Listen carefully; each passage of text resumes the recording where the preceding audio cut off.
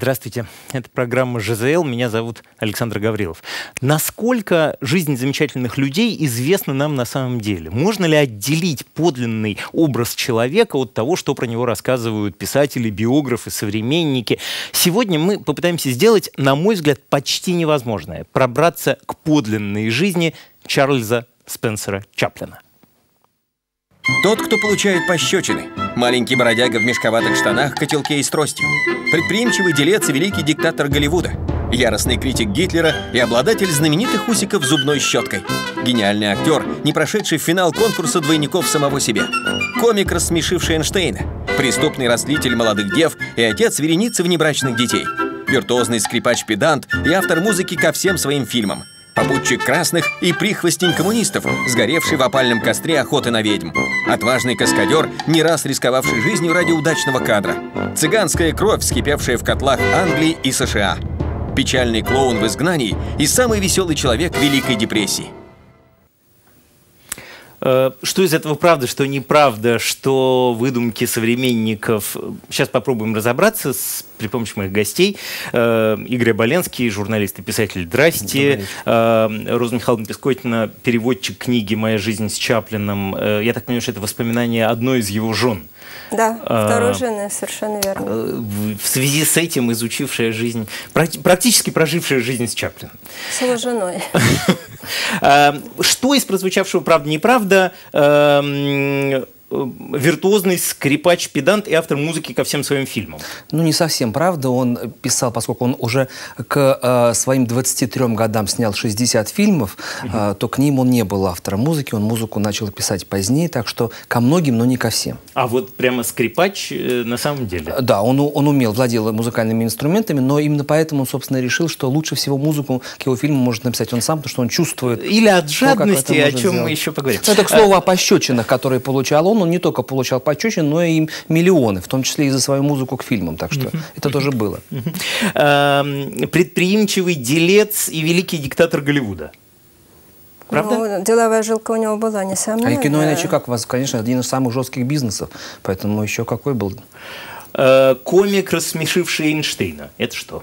С Эйнштейном он, кстати, дружил. Да? да, и его многие высоколобые люди почитали. Он был не только кумиром масс.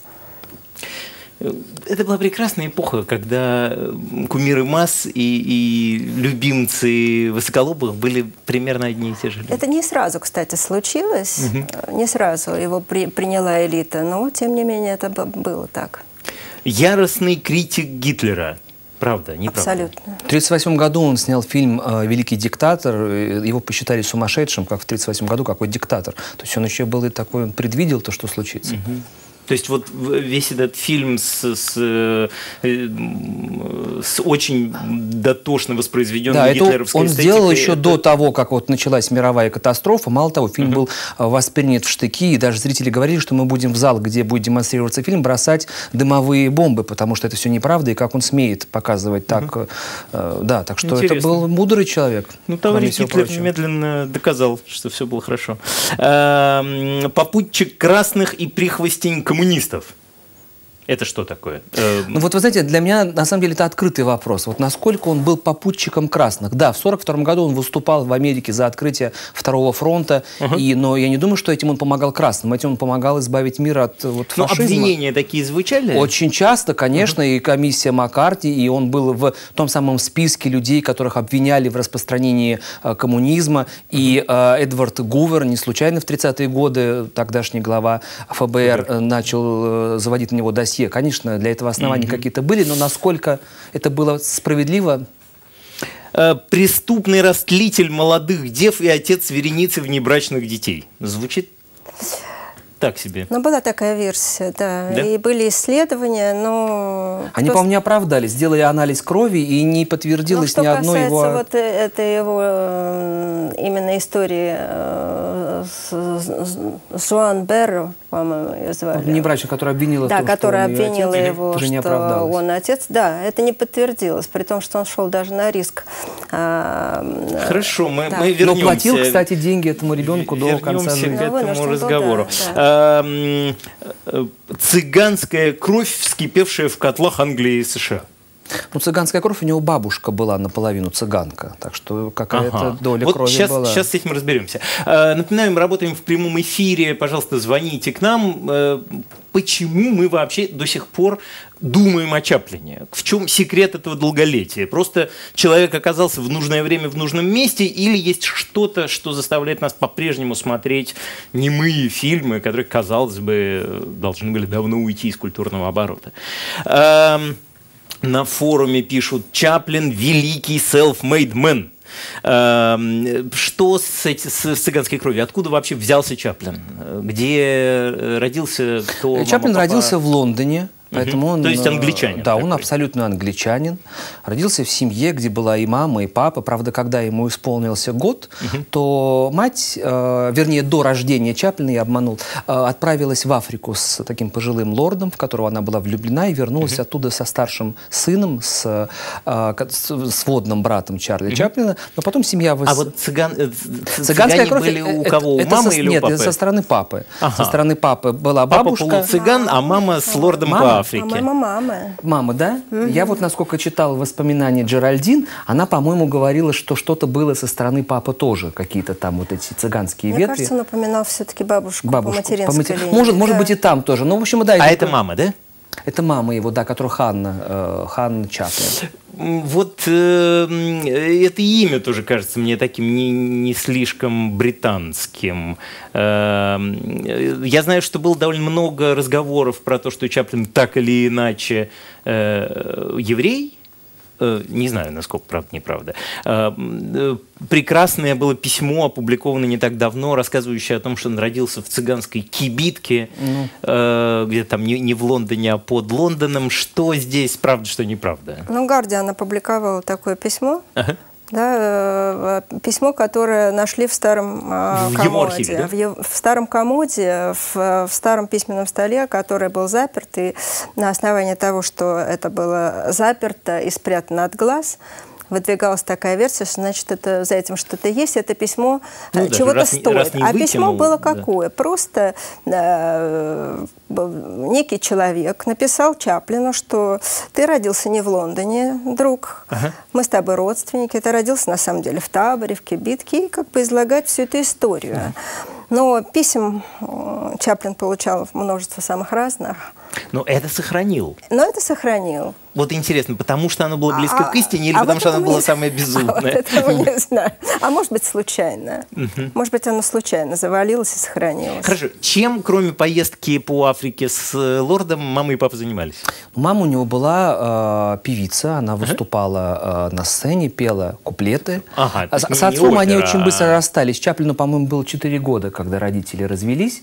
И, собственно, с отцом контакты были такие, ну, постольку поскольку. А мать была певицей, и, собственно, благодаря матери во многом и состоялось первое выступление Чаплина на сцене.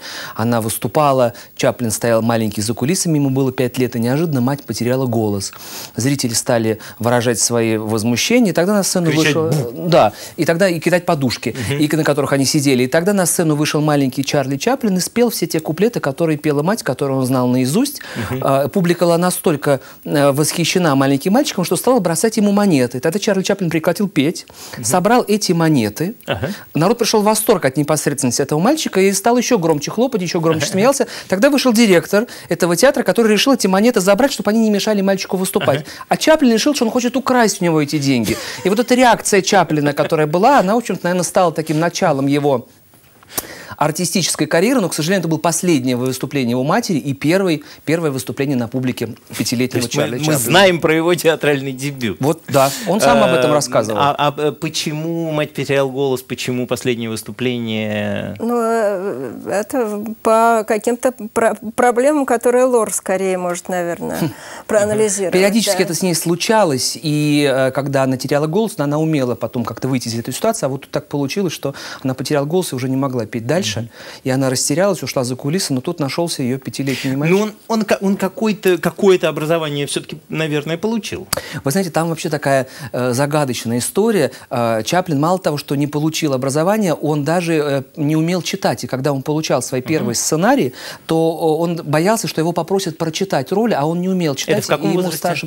Но ему было 12 уже лет, когда он еще не владел грамотой, не мог читать. Mm-hmm. И этим как раз ему помогал старший брат, э, да, разучивать эти роли. А потом уже, когда Чаплин встал на ноги, ну, в принципе, стал уже тем Чарли Чаплином. То есть он как... выучился грамоте во взрослом возрасте? Ну, в сознательном взрослом возрасте, да. До этого он, не, он до этого был фактически безграмотный, потому что он был вынужден зарабатывать на жизнь вначале, чтобы содержать себя, потом, чтобы помогать То есть матери. ранние годы, детство, это, это прям настоящая нищета. Такая, Абсолютно. Чарльз да? Диккенс такой. Там ага. сначала было еще неплохо, а потом стало совсем плохо. Ну, да. Если, если они сначала в э, каком-то нормальном районе, они в каком-то отца рядом и мать потеряла возможность зарабатывать, да, то в общем. Да, все это... Она не получила, не потеряла возможность зарабатывать, она шила перчатки, она зарабатывала, uh-huh. то есть уже не артистической карьерой, а тем, что выполняла какую-то работу по дому и помогала uh-huh. другим женщинам. Uh-huh. Ну, конечно, uh, достаточно. У нас есть телефонный звонок. Алло, здрасте, представьте, пожалуйста, сразу задавайте вопрос. Алло, алло. Есть такая версия, что Чаплин был русским евреем. Скажите, пожалуйста, это правда? Ага, спасибо большое. Был русским евреем? Это интересует все-таки. Ну, есть такая версия, вот все, что можно сказать. Да, об этом писали. Вот. А доказательства, я думаю, что ФБР, который пристально занимался его биографией, опубликовало бы такие данные, если бы они доподлинно были подтверждены, правда?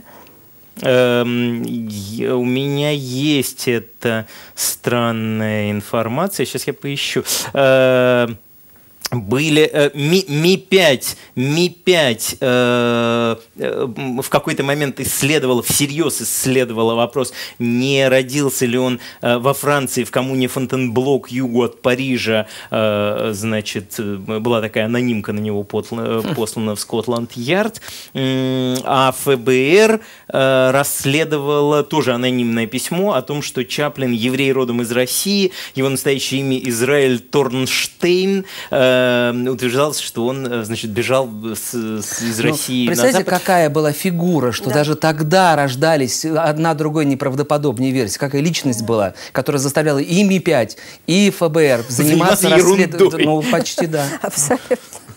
Хорошо. Эм, э, как э, вот этот ребенок безграмотный, ну, в общем, не имеющий никакого образования и никакого социального статуса, оказывается в кино.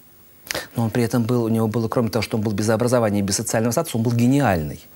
И поэтому, когда... Да. И когда это немаловажно. Да, это было немаловажно. Извините, я хочу все-таки вот тоже добавить, что э, с этим э, отсутствием образования социального статуса э, тут стоит э, оговориться. Вот э, они сначала жили в хорошем районе, э, и потом были вынуждены переехать э, в трущобы, да, и его мать следила за тем, чтобы они не восприняли язык трущоб. То есть она придавала значение его речи, хотя его называли там кокни угу. и она так как далее. говорила, да, чтобы вы не говорили да, как кокни. Да, какой да. красавчик. И да. читала Библию ведь им по ночам она в ролях. Библию. И, вот и тогда... потом она вообще угу. прививала им интерес к литературе. Пусть он и физически не мог прочитать эти буквы, тем не менее да. от, от нее он получил очень большой культурный импульс, потому что она рассказывала очень многое. Угу. И причем в ее рассказах э, были не просто водевильные истории, а часто присутствовали литературные, исторические персонажи.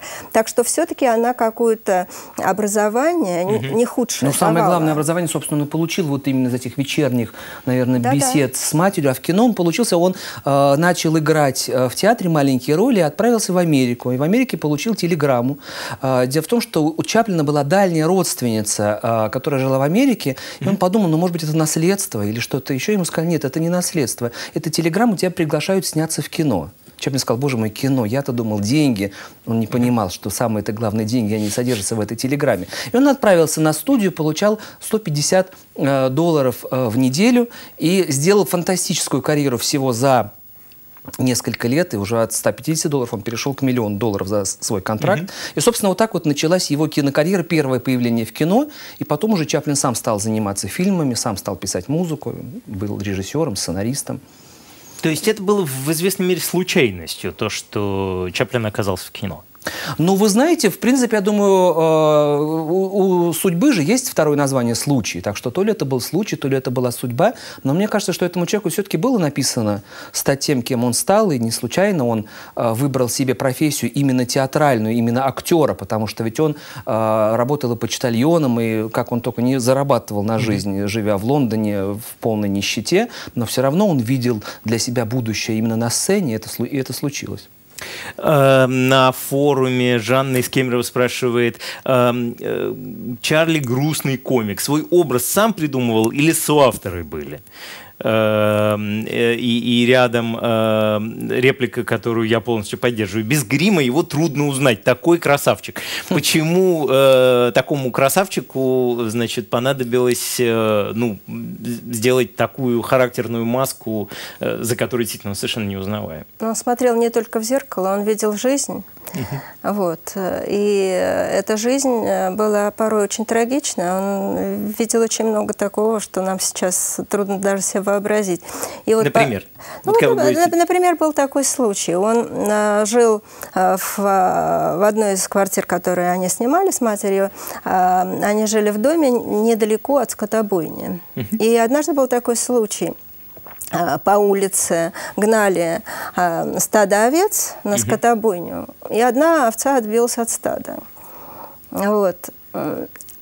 И началась какая-то кутерьма, ее начали ловить, в этом было очень много комизма, он хохотал, всех хохотали и так далее. Потом ее поймали, и э, она отправилась на заклание туда, куда и, и должна была. Вот. И и тогда его осенило, что на самом деле это же все страшно трагично. И вот он этот эпизод описывает э, в книге «Моя биография» как угу. какой-то ключевой в его мировоззрении, когда он понял, что комическое и трагическое в жизни. Э, сплетены. У нас рядом. есть возможность посмотреть э, кусочек фильма «Каток» 1916 года из нашего архива, а потом мы вернемся к этому разговору.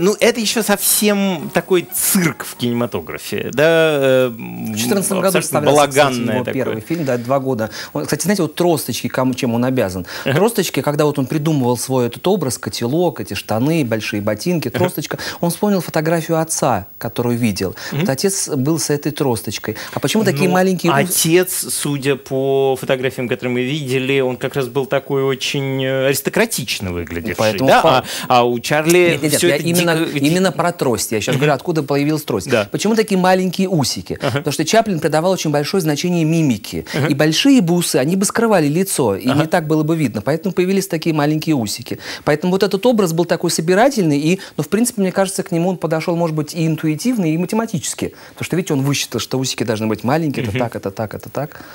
Uh, у нас есть телефонный звонок. Алло, здрасте, представьте, пожалуйста, сразу задавайте вопрос. Здравствуйте, Мария Ивановна, город Москва. А скажите, пожалуйста, у меня вопрос к экспертам. Помимо того, что Чарли Чаплин, безусловно, является гением, а, почему вы умалчиваете, не говорите ничего о том, что помимо своей гениальности он еще являлся растлителем а, молодых женщин? Ведь у него все жены были моложе 18 лет. Угу. Спасибо. Э, да, и у Чарли лицо такое очень... Да, ты услышав этот вопрос. Эм, Роза, что, э, я так понимаю, что эта же книжка написана как раз одной из этих женщин. Да, как раз одной из этих женщин, да. Но что касается того, что он был растлителем, если она моложе 18 лет, это еще такой, по-моему, диагноз слишком резкий, говорит, что он растлитель. Были свидетельства гораздо более какие-то резкие по поводу Чаплина. Говорили о том, что он с 12-летними девочками имел дело угу. и так далее. Но это все не подтверждено и не доказано. А то, что его жены были всегда неизменно молодые и действительно... Ну, что значит молодые? не достигшие совершеннолетия. То есть пер, пер, первая жена, на которой он женился, потому что она сказалась беременной. да, ей было 16, ей было 16. Милдред Харрис, э, насколько я помню. А Лита Грей Чаплин, вот э, книгу, которую я переводила, uh-huh. она действительно с ним в 15 лет уже сошлась. А ему в этот момент было? Ему было 35-36. Он почти на 20 лет был старше ее, да. Но uh-huh. она стала его женой, поэтому, собственно, Она стала здесь... его женой, но под и давлением. Мало, того, послужила да. прототипом великому роману Набокова «Лолита», Лолита, именно вторая жена Чаплина. Mm-hmm. То есть это был такой роман, о котором, в общем-то, говорил, говорила не только Америка. Но при этом э, со всеми этими юными женщинами он не только там сходился и, и женился на них, но также быстро и расставался. Причем каждый раз с, э, скандально.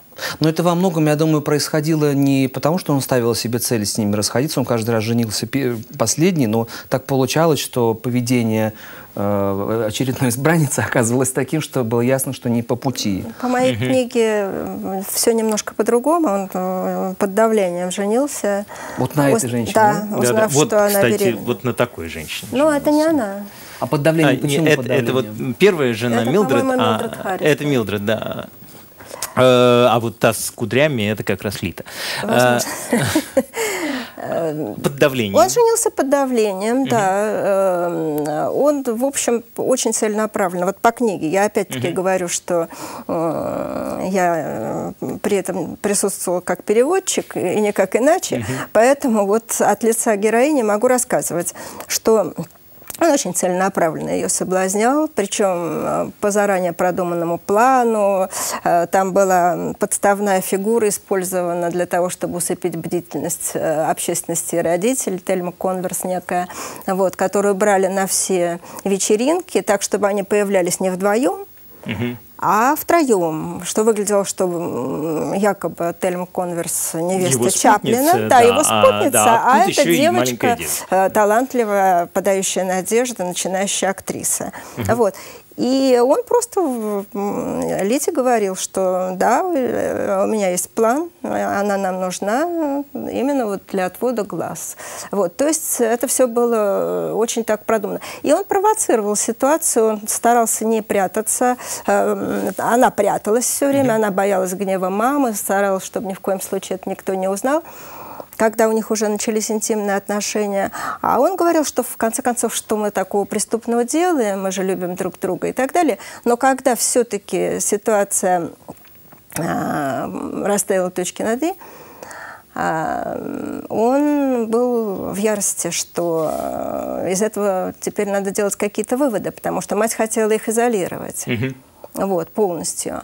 Разлучить. Разлучить, угу. да. Она хотела, чтобы они встречались только э, на съемочной площадке. А потом оказалось, что она беременна. Тогда он угу. был просто вне себя, предлагал все, что угодно. Предлагал отступные деньги, предлагал там сначала, начинал, кстати, он умел торговаться, он начинал с маленьких каких-то подачек, предлагал сделать аборт, потом хорошо там заплатить 25 тысяч долларов человеку, который женится вместо него, потому Боже. что э, он не хотел второго скандала. Только что недавно еще была история с Милдред Харрис, он очень дорожил своей карьерой. Вот, так что он женился по принуждению. И вот с ней потом развод был, да, когда он заплатил миллион и долларов? с ней был э, развод, в котором абсолютно аналогично. То есть брак этот тоже не был очень, э, Этот как брак сказать, удачным? Э, был совсем неудачный. Угу. Совсем неудачный, он о нем вспоминает с горечью и очень коротко в своих интервью там или в книгах, там две-три строчки, три-четыре слова, все. Угу. Вот. Но в этой книге... Лита при этом рассказывает, что он подталкивал к самоубийству. А... Э там есть эм, такая сцена, где они возвращаются уже зарегистрировав брак, угу.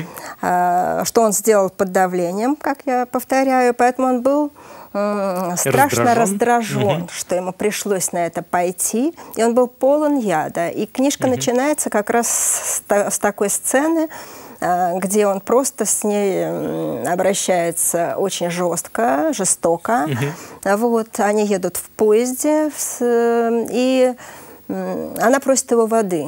Он говорит, воды, ты правда хочешь, чтобы я тебе дал воды, а ты не боишься, что я тебя отравлю? Вот. Потом он предложил ей пойти погулять. Э, там такой был экскурсионный вагон. Угу. А они вышли, он был без, без крыши, как я понимаю. Угу. Вот, э, и они стояли там на холодном осеннем ветру. И он ей сказал, ну чего ты ждешь? Может быть, ты прыгнешь? Совершенно спокойным ледяным тоном.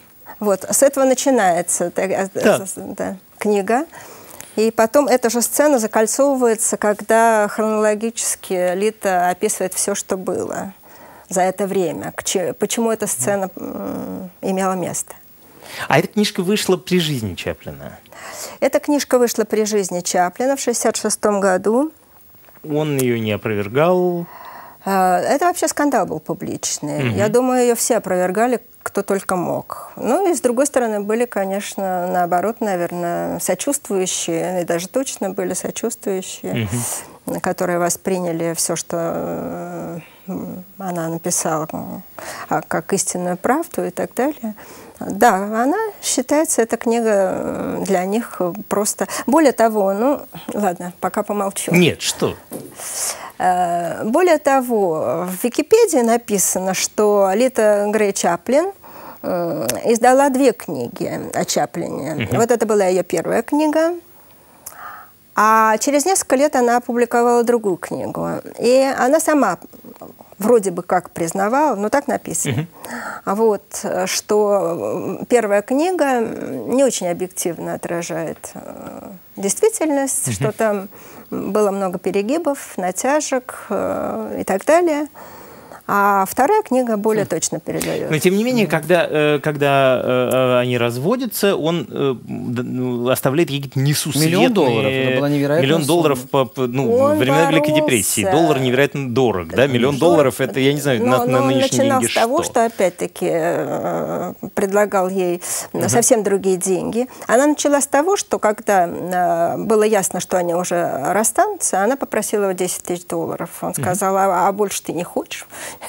ничего. Но в результате, по-моему, он даже ей сказал, а может быть миллион, почему-то всего 10 тысяч. Но миллионом дело и кончилось, да, фактически. То есть она сама-то получила меньше, она получила 650 ну, тысяч. Ну, да, да. Ну, вот, да, да. Все равно да, да. Причем из этой суммы она заплатила адвокатам и так далее, но ну, это да, отдельная история, да. У нас есть телефонный звонок. Алло, здрасте, представьте, пожалуйста. А, здравствуйте, меня зовут Иван. А у меня такой вопрос. Известно, что у Чарли Чаплина было 11 детей.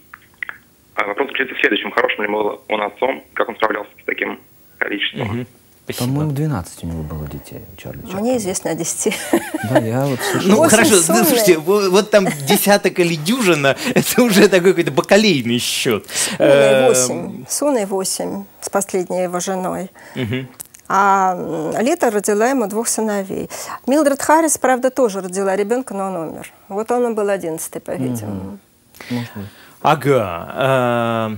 Может быть, 12 считают как раз вот это, то, кому он платил э, до конца а, жизни а, да, деньги. Да, да, вот, видимо, отсюда да. эта, эта да. сумма. Но вот последний ребенок, та женщина, которая подала на него в суд, чтобы он признал. Да, да, да. Вот мы нашли 12, действительно, э, чтобы быть точными совсем. Да одного еще не воспитывал, но содержал.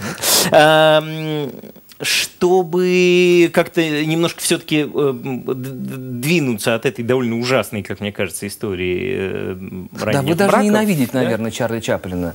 После вы... того, что вы рассказали и пережили, наверное, своей героине эту жизнь. Знаете, когда я... Нет, ну слушайте, ну вот представьте себе, что сегодня, ну не знаю, кто, кто там, большая кинозвезда, не знаю, ну вот э, игравший Чарли Чаплина Роберт Дауни-младший, да. да, вдруг выясняется, что у Дауни-младшего э, там э, две жены подряд, одной 16, другой 15, да, э, как долго этот человек вообще оставался бы, ну, как долго его продолжали бы снимать, и как долго он э, продолжал оставаться бы в игре, да, как, как долго его репутация оставалась бы достаточной для того, чтобы серьезно относиться к нему как к человеку. Тут и... Видите, как для него все-таки важна была репутация. Я думаю, что вторая книга, если действительно была она была, важна, то это не случайно появилась книга. Видимо, появился еще один миллион тогда, и родилась вторая книга. А вот по поводу разницы в возрасте и связи молодой женщины с э, пожилым человеком. Его собственная мать, вот когда она в Африку удрала, как вы говорили, да, она удрала с пожилым человеком, а ей не было 18. То есть ей было 17, она родила э, Сиднея, угу. старшего брата. Сколько по ей не было, по-моему, 18, когда она родила угу. Сиднея, а уехала она с этим э, пожилым господином в Африку, когда ей не было 17. Я даже вспомнил человека, который вот ровно на том же самом пострадал. Это режиссер Роман Поланский, который э, всю свою жизнь не мог вернуться обратно в Америку. Ну, и до сих пор, если я правильно понимаю, не может, потому что там его поджидает иск э, вот ровно такой же. Да? Человек вынужден бегать по всему свету. Этот как-то, мне кажется, никуда особенно не бегал. Но он женился, в отличие от ну, Поланского. Он бегал на, на всем женился. Другом, Это на другом на, этапе. На Кстати всем, говоря, бегал. На всем женился.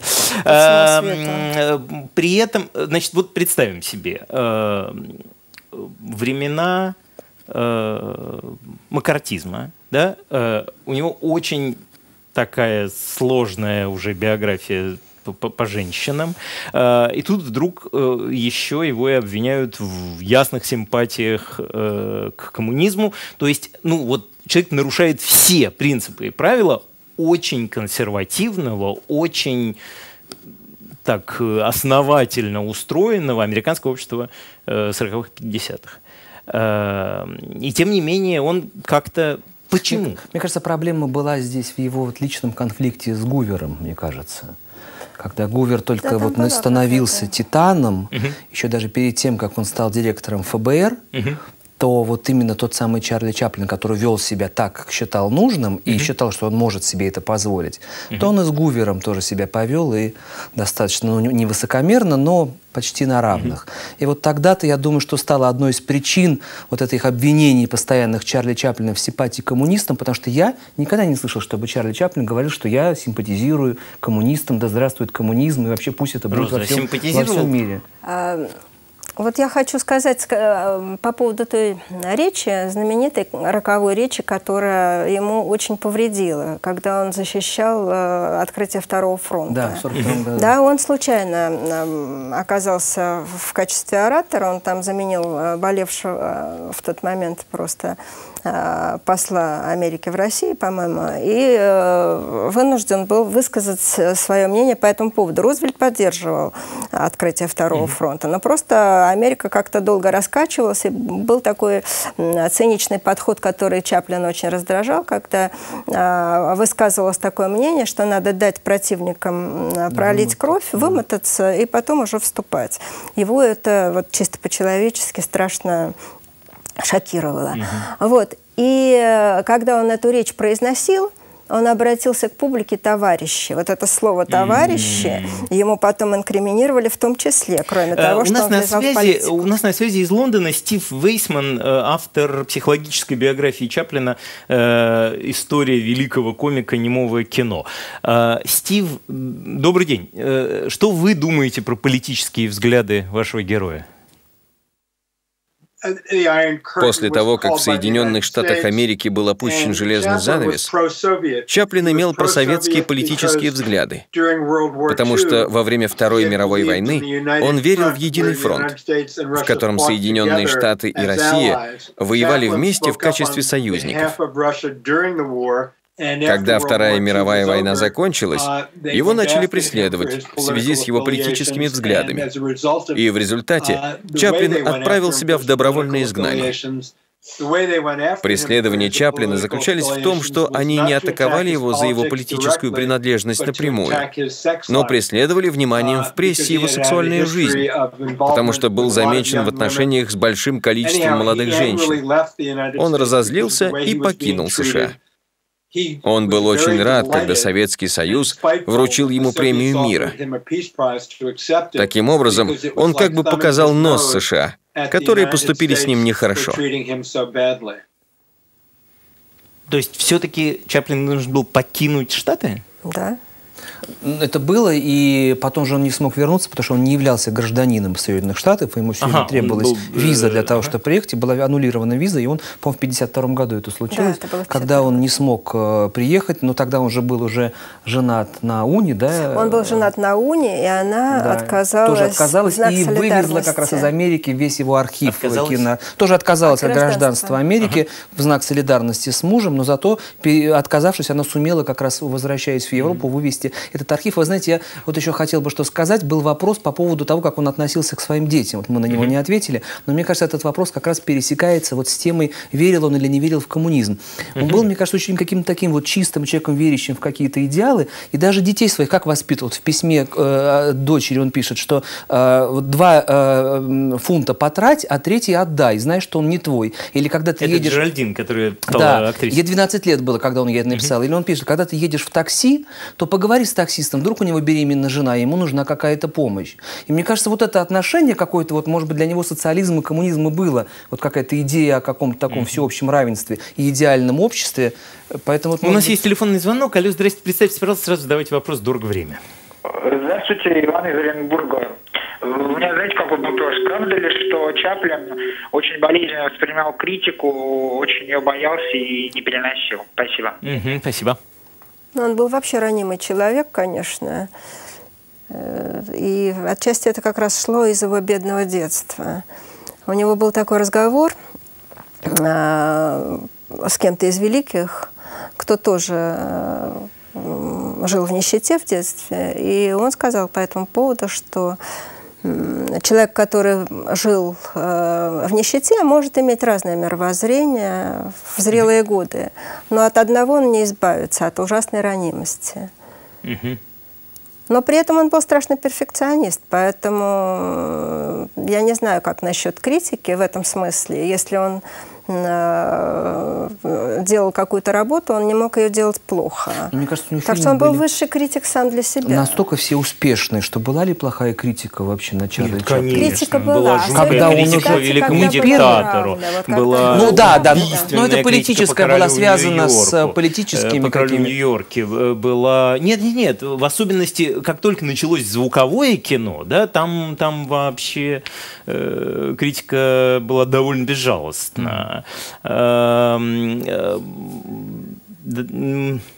э, вот мы несколько раз э, сказали, произнесли слово Уна Чаплин, да, мать восьми детей, э, жен, женщина, которая отказалась от гражданства да. Соединенных Штатов для того, чтобы остаться с ним. Э, давайте очень коротко. А Уна откуда взялась? Уна это была дочь знаменитого драматурга Юджина Унила. Уна Унил ее была э, фамилия, урожденная Унила. Отец, насколько я знаю, был категорически против ее брака с Чаплином, потому что Чаплин, по-моему, был даже старше э, самого Юджина, если не старше, то ровесник. Но Уна не послушала отца, и вот случился брак, один из, по-моему, самых Э, э, я сейчас вспомню. Ей было 18, 18 а ему лет. 54. 36 лет разницы. И 8 детей. И последний ребенок родился, ему было уже за 70. И тем не менее было большое Какой счастье. Жизнелюб. Жизнелюб, и Жанна Люб, и Люб вообще а, жизни. А, и это был очень счастливый брак, настоящий. Вот тот, который, видимо, он ждал, ждал, дождался. Вот, посмотрите, фантастическая фотография. Это они все читают автобиографию, Чаплин, его, его да. автобиографию. Э, прекрасная история. Э, э, они э, вступили в брак, и, и вот этот-то брак был уже... Последний. Последний, последний главный в его жизни. Да. Э, интересно, э, вот судя по, в том числе и этим историям, кажется, что он, как бы сказать-то, по-человечески довольно долго формировался. Да, такая мысль приходит в голову, конечно что да, он повзрослел вот уже... Повзрослел годам к 50. Годам к 50. И, может быть, один из секретов этого брака был то, что Уна, она же была актриса, она отказалась от карьеры, она посвятила себя семье. Они встретились на пробах, да? А как вот произошла их встреча? Она, да, она хотела попробоваться для... на роль, сюжет, да, да, на роль э, какого-то фильма. И она все-таки прошла пробу, хотя он сначала колебался и все. А когда у них все-таки завязался роман, она решила отказаться от карьеры. Он был ей очень благодарен за это. Он как раз и говорил, что наконец-то женщина полюбила меня и хоте- захотела стать моей женой, а не просто актрисой в моем кино. Да. Эм, Вот мы говорили о том, что он долго формировался. Странным образом, мне кажется, вот мы в, в- в этой программе часто обнаруживаем, что финал жизни – это некоторый ключ к тому, как эта жизнь была устроена. Давайте мы сейчас посмотрим короткий сюжет о финале жизни э, Чарли Чаплина, а потом вернемся к разговору. В 1952 году Министерство юстиции США отказывает гастролирующему Чаплину в праве на въезд в страну. Изгнание с родины сопровождается туманной и оскорбительной формулировкой до тех пор, пока он не очистит свое имя. Рассерженный Чаплин возвращает въездную визу американскому консулу и оседает в Швейцарии на четверть века, тихо и с достоинством доживая последние годы жизни. В середине 70-х пружинистое тело маленького бродяги все заметнее выходит из строя, и былому ловкачу приходится пересесть в инвалидную коляску. В начале зимы 1977 года комик чувствует особо острое недомогание. Он все время лежит в постели и дышит от кислородного баллона. Дни его оказываются сочтены. 25 декабря 1977 года в ответ на слова священника «Позвольте Богу спасти вашу душу» Чаплин на секунду, отстегнув кислородную маску, произносит «Почему бы нет? Она принадлежит ему». В ту же ночь, окруженный женой и детьми, Чаплин уходит из жизни, не отрываясь от очередного головокружительного сна. Но последняя комедия Чаплина ожидает впереди.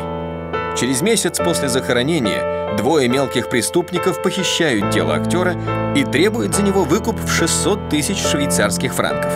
Уна Чаплин, вдова комика, сначала отказывается от сотрудничества с похитителями, заявив «Мой муж обитает на небесах и у меня в сердце». Лишь по просьбе полиции она оказывает помощь следствию, которое быстро находит двух горе-похитителей, а заодно и тело маленького бродяги. Да, он был потом перезахоронен и залили почти двумя э, метрами бетона, чтобы уже не могло повториться подобное похищение. Знаете, я был на кладбище, где похоронен Чаплин. Это место находится неподалеку от Монтрё, где жил э, Набоков, и где, собственно, писал он Лолиту, вдохновленный историями его э, второй э, женитьбы. И, знаете, я вот шел по той улице, там где-то километров 10 нужно пройти пешком. Я решил пройти пешком. И вот я шел, я пытался представить, вот как чувствовал себя Чаплин, оказавшись вот в такой тишине, после стрекота моторов, кинокамер, прессы, публики. И я вдруг понял, что, наверное, он был счастливым человеком, потому что он остался наедине с самым главным, с любимой женщиной, с теми детьми, которых он так долго ждал. И мне кажется, что финал его жизни, он был очень достойный и очень счастливый. Не знаю. Мне кажется, человек, который так много отдал себя э, безумному миру кино, э, так много потратил себя на выстраивание своей собственной киноимперии. Ведь это была империя абсолютно замкнутая. Вы не думаете- Вот эти, вот эти ранние кинолюди, да, что Дисней с его жуткой патагонной системой такой очень мрачной, что Чаплин, который постепенно начал в своих фильмах делать все, только что не, только что не платил себе как гримеру. Э, Это же были, конечно, еще и люди, ну, не только фанатично преданные своему делу, но и, конечно, фанатично преданные тем огромным деньгам, которые там А вы не думаете, что Чарли Чаплин вот всю свою эту империю создавал ради того, чтобы несколько лет пожить вот в этой тишине в Швейцарии, потому что ведь он был лишен с детства самого главного – счастливой семьи. И не это ли было самым главным, когда он начинал свой путь? Знаете, вот эм, э, на, на, на форуме у нас есть очень странный вопрос от Ирины из Новосибирска.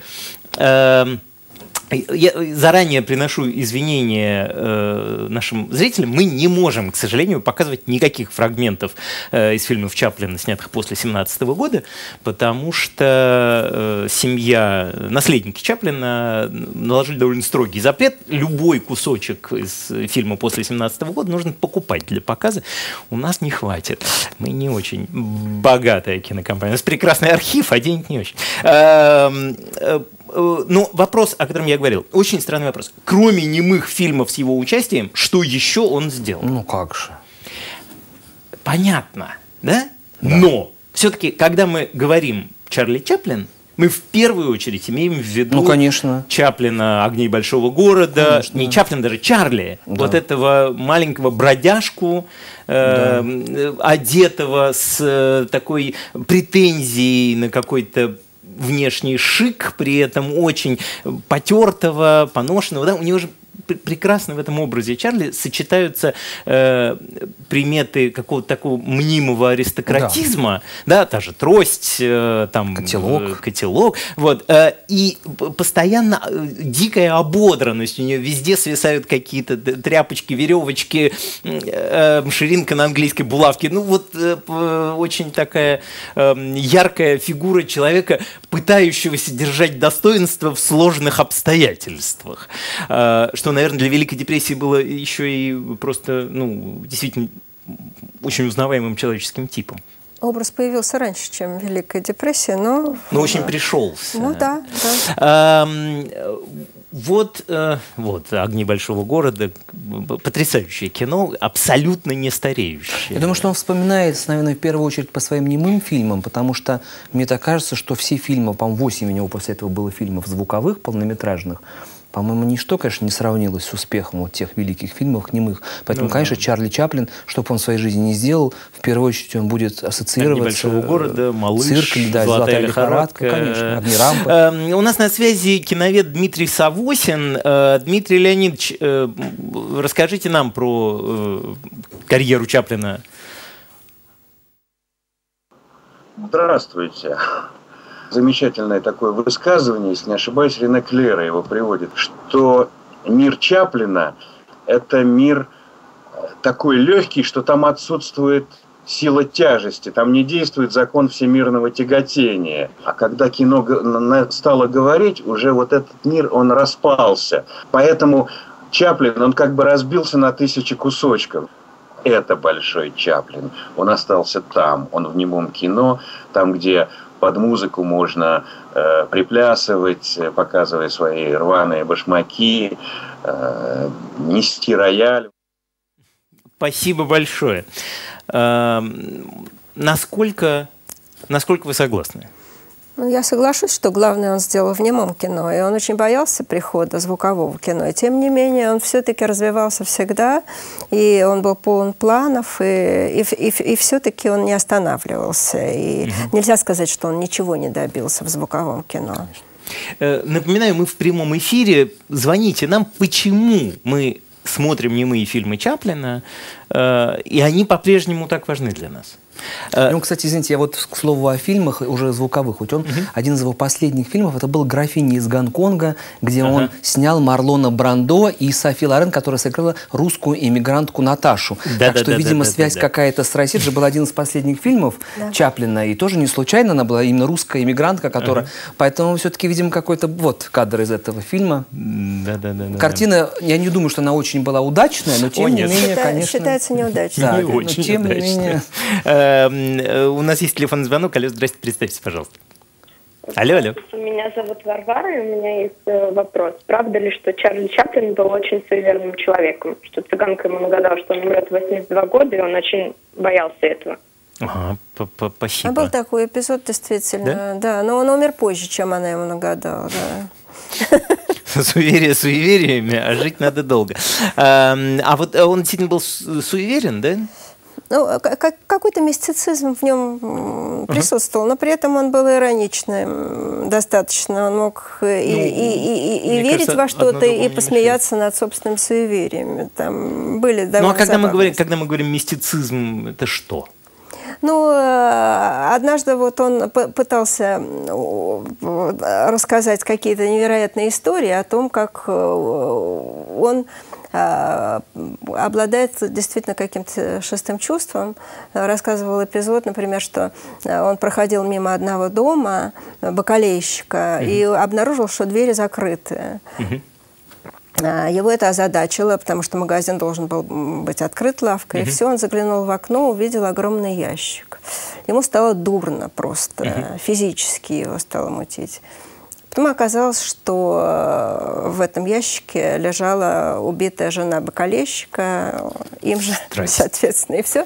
И угу. вот подобные истории он любитель был рассказывать о себе, что, что вот, что-то, что что-то, что-то он умел чувствовать. Но в то же время он мог и посмеяться над собой. Знаете, вот еще один штрих была фотография очень интересная Чарли Чаплин и Анна Павлова. Угу. Дело в том, что не только Анна Павлова была подругой Чаплина, но еще вот это замечательная фотография, угу. такие два короля, королева балета и король, э, король экрана. Чарли Чаплин очень дружил с семьей Григория Александрова и Любовь Петровны Орловой. Это ага. была большая дружба, и даже сами Орлова и Александров себя называли Чарли и Спенсер. Чарли была Любовь Петровна, угу. а Спенсер был э, Григорий Васильевич. И Любовь Петровна очень часто ездила э, в Европу, и она в шутку говорила, что я все время приезжаю в гости к Чаплину, хочу посмотреть, как же одета его жена, что сейчас носит. Она все время беременна, она все время в платьях для беременных. Вот э, я понимаю, что это вопрос, ну, мы можем только догадываться или говорить какие-то общие слова, но все-таки.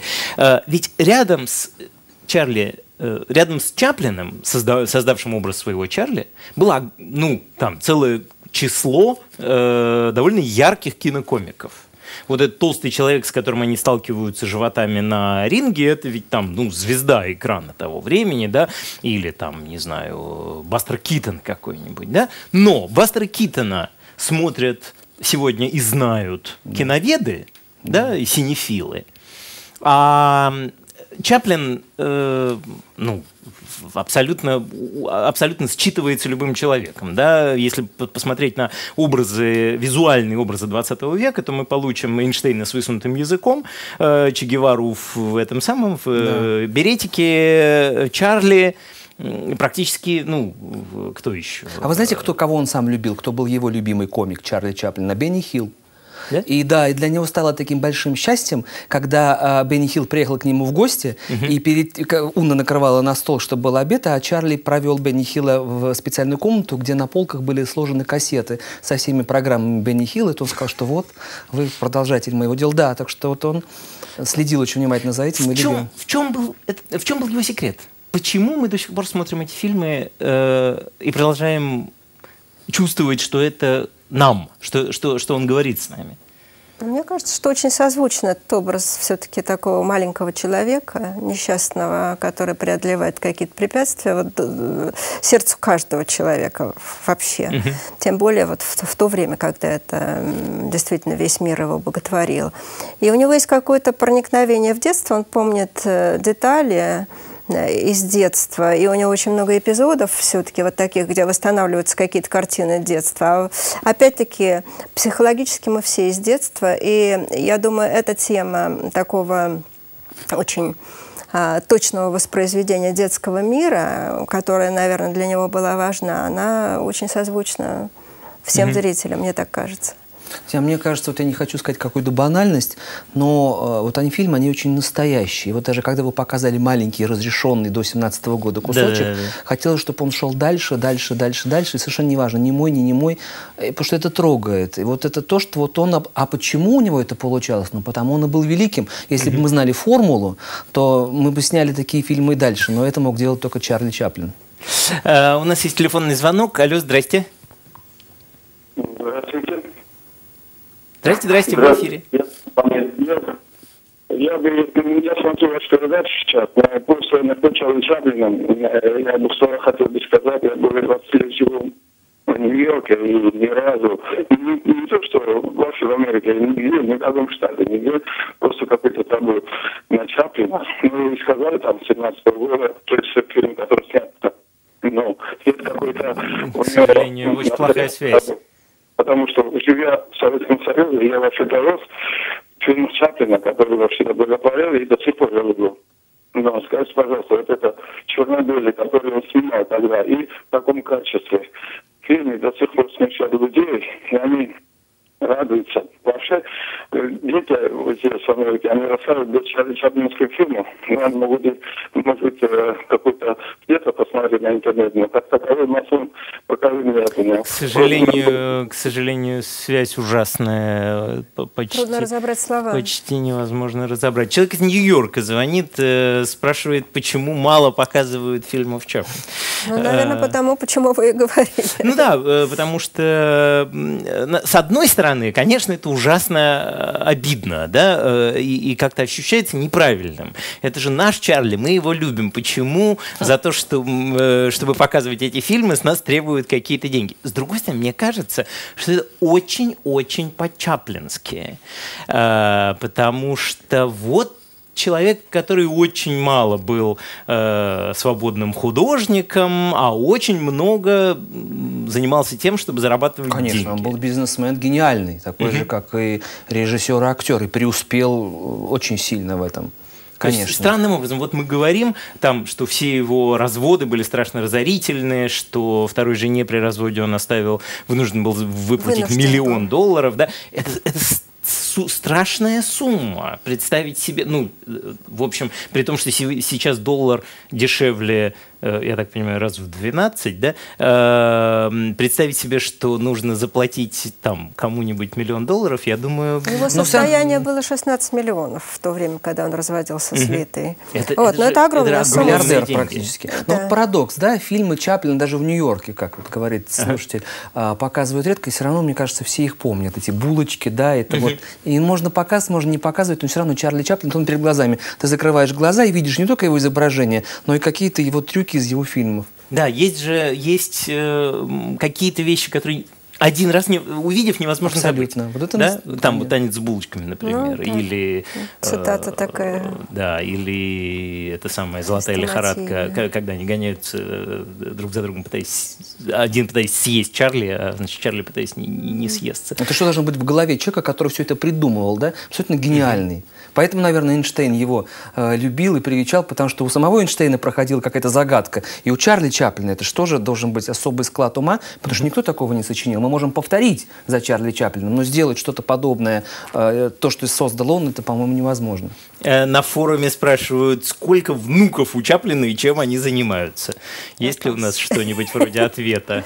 Слушай, если 12 детей... Да, ну... я думаю, что с внуками тоже э, Бог не обидел. Но вот одна из самых известных, наверное, дочерей Чарли Чаплин, это Джеральдин Чаплин, которая mm-hmm. в прошлом году, кстати, приезжала в Москву, она была членом mm-hmm. жюри Московского кинофестиваля. Актриса, которая похожа на своего отца, она, собственно, сыграла роль бабушки, вот Ханны в фильме э, mm-hmm. Чаплин. Один из его сыновей стал, э, ну, писал биографию, причем биографию достаточно тоже жесткую, как сказать, что это сводит, он сводил счеты со своим отцом, mm-hmm. потому что достаточно в неприглядном одном э, видео он выставил отца. Другой его сын, насколько я знаю, был такой хиповал.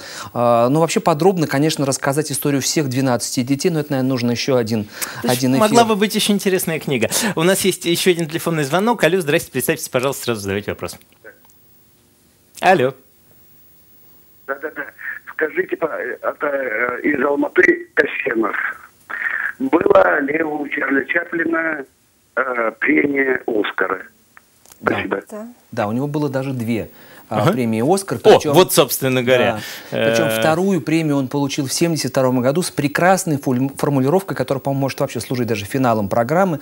В этой формулировке говорил за то, что Чаплин показал, что кинематограф – это искусство. За то, что mm-hmm. вот именно Чаплин превратил кинематограф в искусство. Мне кажется, действительно, вот одна из заслуг Чарли Чаплина это в том, что его кино и лечит, и, и радует, и делает счастливым. Э, то есть это, был не, это была не награда за какой-то фильм, это, это была почетный, награда за то, что Это был уже Чаплин. почетный, почетный. Причем он всего на несколько дней приехал, между прочим, в Америку, uh-huh. и, и так и там тоже не В нашем видеоархиве есть э, маленький, но ценный фрагмент. Давайте мы сейчас его посмотрим.